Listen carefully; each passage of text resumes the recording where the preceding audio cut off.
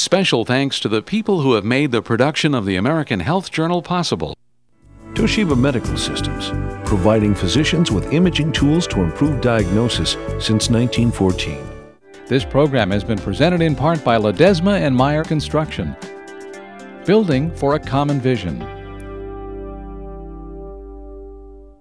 And generous assistance from HF Healthcare, serving the hemophiliac community. The American Health Journal, bringing you the latest information on medicine, psychology, diagnosis, treatment, and prevention. Major medical advances are made each week, and each week the American Health Journal keeps you up to date. Welcome to another special edition of the American Health Journal. I'm your host, Roger Cooper. On this program, we'll have the opportunity of visiting Cerritos College Culinary Arts Program to learn how they've integrated healthy cooking into their curriculum. That's proven to be life changing for their students. We'll also speak with instructors, including the chef instructor, to learn about how this course prepares their students for entry level positions in the restaurant and hotel industry, and even inspiring many of their graduates to become future restaurateurs. All this plus some healthy and tasty recipes they'll tell us about later on in the program. Now, on the American Health Journal.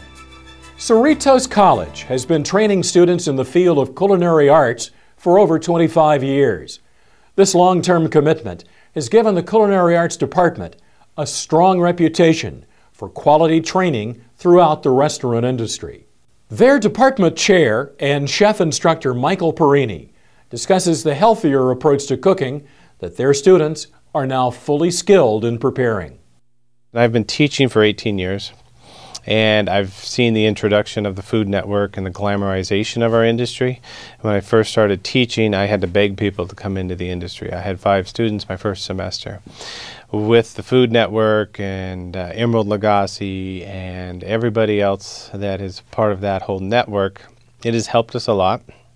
Uh, I do not have to do any advertising, marketing for my program, and we still, unfortunately, have to turn away 20 to 30 students a semester. A culinary school is a place in America, specifically, a little bit in the European, that has taken a traditional apprenticeship program, anywhere from six to 10 years in length, and condensed it down to a one and a half to two year intensified training program with a certificate with degrees. Um, and that's the summary of a culinary school. What it is to me is a vibrant, exciting, fast paced environment that gives a very quick shot to a group of students that are interested, excited for the food industry for some reason, whether it's a food network, a grandmother, a grandma, a grandfather that they cooked with as a child it gives me a year and a half to get them as many skills as I possibly can within a year, but mainly to give them the skills to be able to go into any kitchen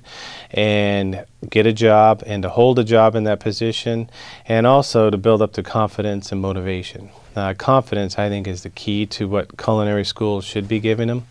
I still fight healthy cooking in a commercial setting. At home, I've in instituted it throughout my house commercially, I was trained French. I was trained French traditions uh, with an Italian background, and the French tradition is not healthy. It's just simply in moderations. Uh, we have much more obesity than the French do, obviously, but it's portion control. Commercially, I still add a lot of butter. I still add a lot of fat. Uh, I experiment with my customers quite often uh, with light, healthy cooking, light and healthy dishes. We put calorie contents, and I typically find they never sell them. If I tell them it's healthy, they will not buy it. If I do not tell them it's healthy, and I make it appear to be not a healthy dish, it sells really well. So um, there's kind of an irony of it all. Um, we have Weight Watchers on this campus. We have all kinds of different weight loss programs that I've seen over the years, and they've always wanted me to put a four or 500 calorie dish on the menu, and I refuse, absolutely refuse, because I know that's the least selling item. If I earmark it as healthy and low calorie, nobody will buy it. If I make it appear to be high calorie, high quantity, high carb, high starch, then they will go all over it. I just don't have to tell them it's a low calorie item. We have made changes in the United States with food, particularly the last five to seven years, in the way we process, the way we use chemicals to harvest our foods. Nowadays, it's changed quite a bit. You're getting hydroponic farming, you're getting um, a lot more areas dedicated just specifically to organic farming. So the well water is not contaminated, the soil is not contaminated, so they're going in fresh and natural. I think it's become trendy to go to Whole Foods Market and buy one bag of groceries for $200 and get your little cloth bag and carry it home. I hope a trend stays to be the norm. I hope it's not just a trend. I hope it doesn't go away. Like most trends uh, with food, you tend to watch them, keep an eye on them, and see if they stay. And if they stay, they become a cuisine. If they go away, then it was just a fad and you just go on to the next thing healthy cooking, healthy eating, I hope is here to stay. I think the biggest problem we had in America was in the 80s. Uh, we removed the home economics out of the uh, middle schools. I remember going to home economics in the seventh grade, seventh, eighth grade, learned how to sew a backpack, use a sewing machine, and learned how to make breakfast, uh, make soups, stews, and uh, sometime in the 80s they dissolved all the home economics classrooms, so people are graduating, becoming adults without ever knowing how to crack an egg, cut a chicken, uh, make a roast, make a meal for themselves. So they rely on fast food, they rely on convenient foods, uh, microwave burritos, AM, PM. The big hang up now is we've got to get our portion controls back in line. Uh, the quantity of food we eat in America is just staggering. Uh, you, you, go to Europe, you go to Italy, an entree doesn't weigh seven pounds. Uh, it's a small portion of food, and it's enough. Doesn't stuff you uh, but it fills you up and it's plenty of food. And it's going to take a while for Americans to shrink their stomachs, shrink their eyes. The organic's a good start, and healthy foods, a little more less, less cooking on the foods is a great start, but quantities of foods is where we really have a problem in, in America. With the way health is going, uh, the next generation coming in is supposed to be the shortest lived generation that we've had in a long time. And I contribute it to our food and the way we've contaminated all of our food, our soil, and our water. In 10 years, healthy food in 10 years will level off to a point where I hope it's not a trend, where it's a, a staying power, where it's going to stay around for 15, 20 years. I hope we can resolve the psychological issues that we have with food and comfortness of food. Comfort is a survival thing. It's not anything else, then it gives us energy. It's like putting gas in your car. You can have it taste good or you're not, but either way, it needs to be healthy, quality, good food. Coming up, we'll have more on the Culinary Arts program at Cerritos College. Need the latest news on the treatment for depression, addiction, or sleep disorders? Now you can go online at AmericanHealthJournal.com. Thousands of videos straight from doctors.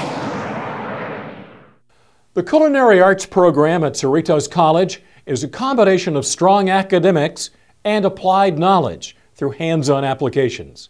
This includes fine dining, cafeteria style, banquets, and catering operations that make for a well-rounded experience. We spoke with instructor Amanda Ayton about the goals for their students. Culinary arts students are very passionate uh, when they come into this program which does make it a lot easier to work with them because they all have the same kind of common goal and ground. So it makes it easy for me as an instructor to uh, help them and guide them because we all have the same goal together. And my goal is to help them achieve you know greater success in life and in this career where the students are, are ex excited about that as well. The students in the program are very focused on what they're doing uh, very driven. They all have the same uh, common goal uh, for their careers, being in culinary arts, and they are very passionate when they do come into the program. Culinary school is culinary school. I love everything about it. Like the way, especially here at Cerritos, they te they teach you really well. They explain it in detail to the point where like it just snaps in your head. You know, um, I think my favorite right now would be um, fabric fabricating It's um, like deboning chicken or breaking it down into like its portions, legs, thighs, breast, wings, or like um, fabricating um, a whole pork loin. Like we take the ribs out, we take the tenderloin out, we take the sirloin out, and then portion it and give it to um, whatever station needs it. So I think that's like one of my favorite parts of the culinary school right now. Some of the culinary art students are very health conscious. Uh, I think over time, through media and uh, journals and everything, that we've learned that you know eating healthier is going to have a better lifestyle. So it's becoming more of a trend now because customers come in wanting more healthy food. So we have to learn how to create that healthy food for them, and also knowing what's going into our bodies, as well as the customers, um, has made it. Uh, to me, more fun, uh, being able to use more all natural ingredients, organic. I'm leaning towards that. So it's it's a very more in, in demand and popular. Healthy cooking, it's it's actually a really big trend right now. You know, they're actually um, for a whole week in the kitchen they teach you about healthy cooking. You know, using you know don't use heavy cream, use non-fat milk. You know, or you know don't don't leave the skin on the chicken breast, take it off. It saves about 120 calories. You know and you know, and today, you know, you hear about Paula Deen. You know, the, it came out that she had type two diabetes, and you know, she cooks with butter, and it's it's, it's tasty once in a while, you know, but you know, in the lifestyle that we live in, we don't get to exercise as much. Healthy cooking is it's a big deal. It's although people want to eat healthier and more organic and such, it's hard for people to change their taste buds, what they've been used to all those years, all that fast food and greasy and fatty and still being able to find something they enjoy, but having it be healthy for them. So that's where a big challenge comes for us uh, as instructors as well as for the students, and then being able to cater to that population out there. Well, because of my background in nutrition, in foods and nutrition and culinary arts, um, I have that understanding that um, not everything in life is not everything that you eat is healthy, but there are modifications that you can make that are absolutely uh, simple. And there's things in, in your cupboard, in your pantry that you can modify at home in your meals. For instance, um, like chocolate dipped strawberries. Like most people think of, oh, a delicious succulent strawberry with rich chocolate on the outside, but modify it to uh, dark chocolate. Dark chocolate is high in antioxidants, and it's it's so much. It's a just slight difference, but you know that when you're eating it, it's something that's healthy for you. Also, like making a grilled cheese. Nowadays, there's so many options that you have. You have low-fat cheese. You can uh, grill it with whole wheat bread and uh, and low-fat low-fat cheese, whole wheat bread, and there's a low cholesterol butter, no cholesterol butter out there. So many options now that that are so available to you at your local markets. even even like a Costco or Walmart, you'll be amazed at the kind of things that you can find to modify any uh, diet.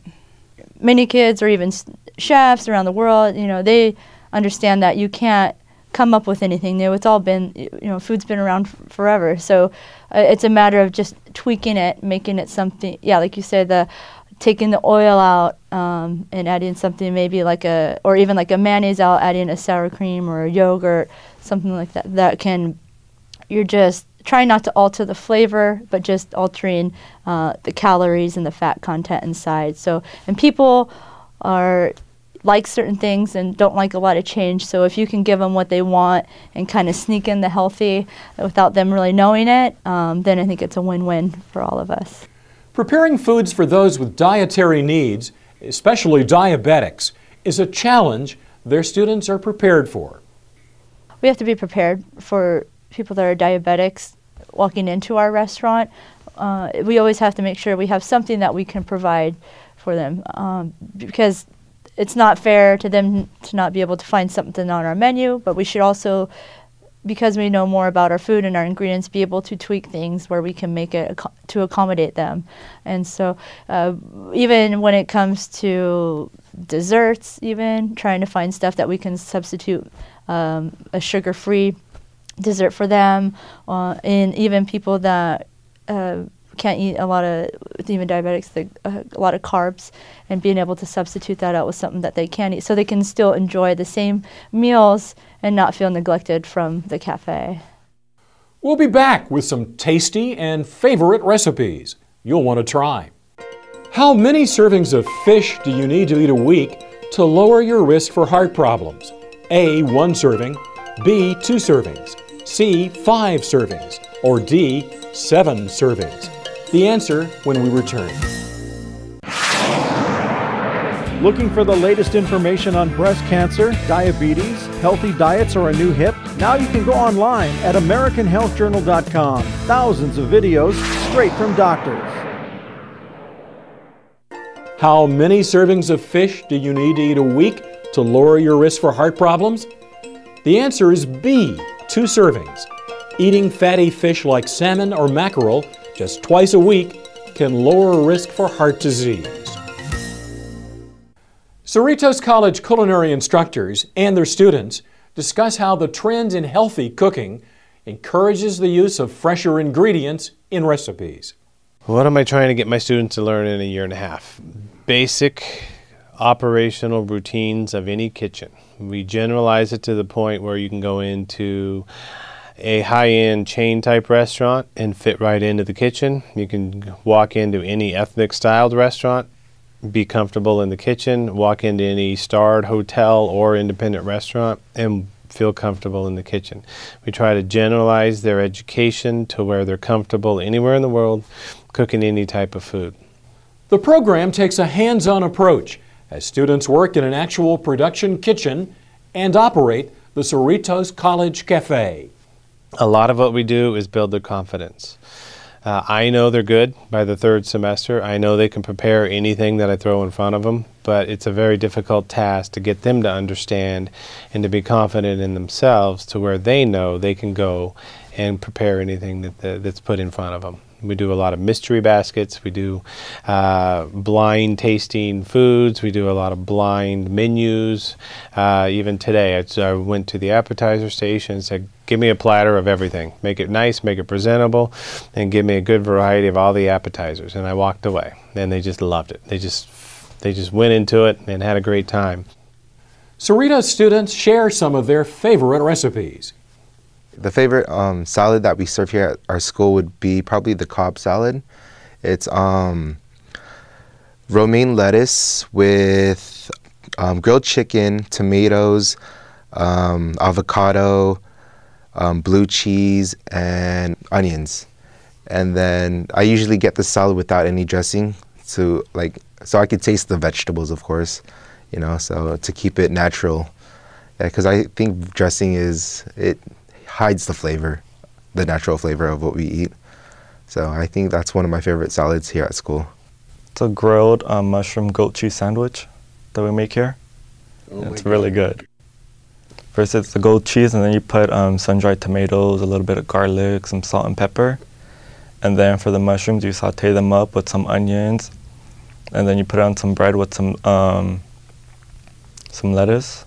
I think I enjoy uh, making pasta dishes. Um,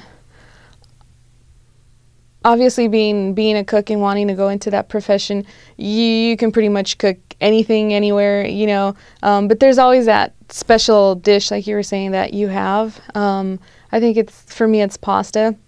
Just being able to throw that pasta in the water, making a sauce. It's not even complicated, you know, tomatoes and uh, herbs, and you know, and it comes out to be this wonderful dish. You know, you put some cheese on it. Everybody loves cheese and garlic, and you're good to go. Um, so that that's what I like. We're running a business. We're running uh, three businesses. Uh, next year, we'll be running a fourth sit-down formal restaurant as well too. That's what a restaurant is. A re- how can I teach reality, hands-on skills without telling them about money, without showing them plate costs, without showing them what a POS system is, and how to treat your customers out front?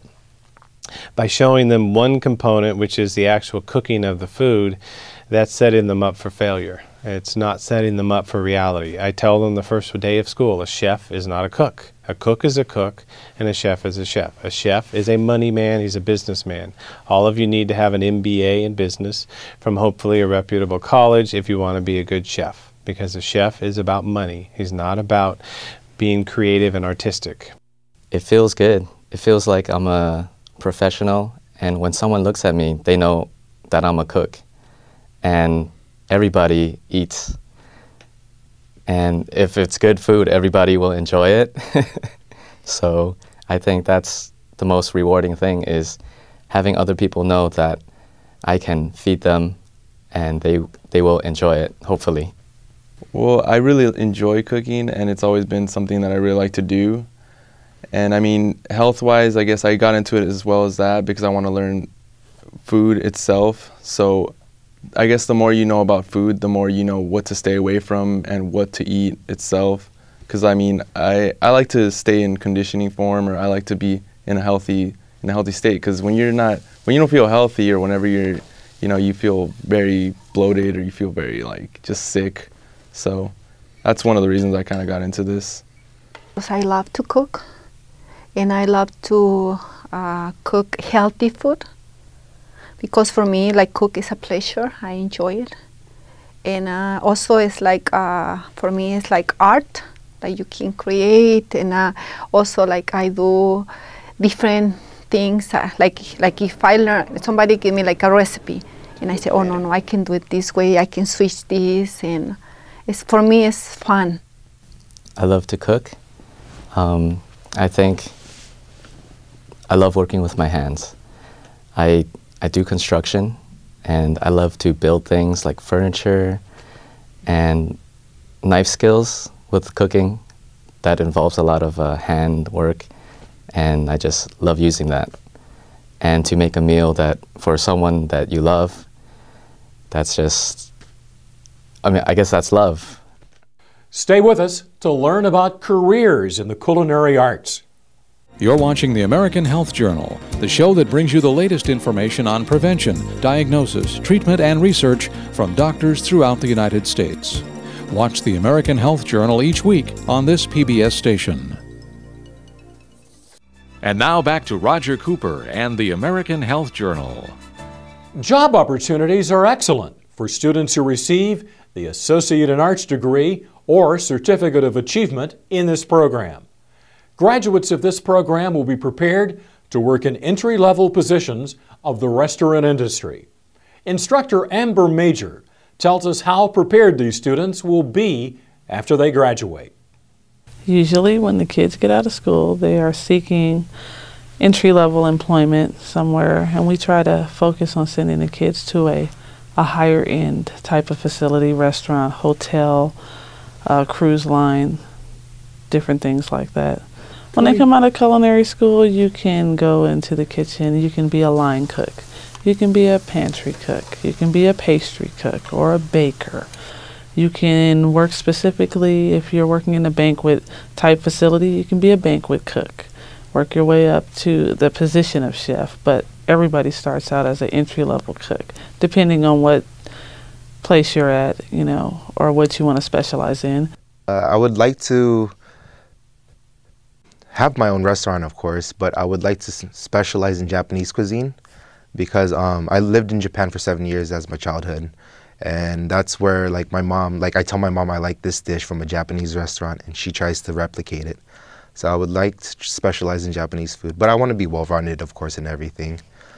Well, I eventually uh, hope to get um, my bachelor's degree in culinary and um, maybe work in a in a uh, five star hotel, get some experience, you know, save some money, and open up my own restaurant.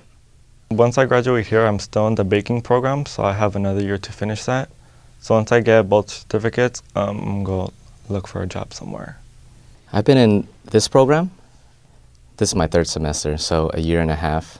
And after, after this program, I plan to hopefully get an internship at a few restaurants where I can learn how a restaurant is actually run. And then, well, that will probably take many years. And ulti my ultimate goal would be to run a restaurant where I can feed people. I work in the food industry right now, but not as a cook. So um, I like to make that transition into being a cook and um, I was going to Cal Poly for a while for restaurant management. Um, you know, the way things are going now, it's definitely important for higher education. Uh, probably will return there to finish um, my my bachelor's, and just take, you know, things as as they come. opportunities will always be there. I'm actually an alumni, and I was in the program for a year and a half for the three semesters, and um, you know, it was an amazing experience. And um, I chose that particular program because um, it was, first of all, it was within my budget compared to the other surrounding schools in my area, and I just thought it was um, an opportunity to be in an environment that's really hands-on and not just that. The instructors really uh, build a one-on-one relationship with their students there. And i think it's just it's more intimate and you get to learn more from the experience opposed to other students that i've met that have gone to um, larger um, schools like cordon bleu or, or ai food is life and it's amazing and i'm actually um, have a degree in foods and nutrition and I'm really interested in cooking. So I thought, why not bring in food and nutrition and cooking together and bring something to the the community that that's relevant to life. I mean, most people nowadays in food industry is is so big on um, marketing things that are so easy to uh, accessible to students, to um, single moms, and I thought, well, why not invest in my future my future into something that's going to um, help the community, that's going to promote a healthier living, that's going to, uh, you know, promote that. I believe you create your own security. And that's with your knowledge, and that's with your dedication and your passion. And that's how you can create your own job security. Even if you decide not to want to work in somebody else's kitchen anymore, you can take the route of personal chef or open your own catering business. Cater to small groups of people. You don't have to do it on such a large scale anymore. You can do, well, I just want to do intimate dinners for people. Or I want to do, you know, large scale. It doesn't matter. Because a lot of people can take that route. You can go personal chef. You can work for yourself. You can create your own menus. You don't have to be restricted by anybody. You can do whatever you want to do. We hope you enjoyed this special edition of the American Health Journal, and we want to thank and acknowledge the instructors and students at the Cerritos College Culinary Arts Program for their participation that makes this program possible. If you have any questions regarding any of the topics you've seen here today, please call us at 1 800 303 3200. Thanks for watching our show, and as always, we'll continue to bring you the best in healthcare news for your better health. For the American Health Journal, I'm Roger Cooper.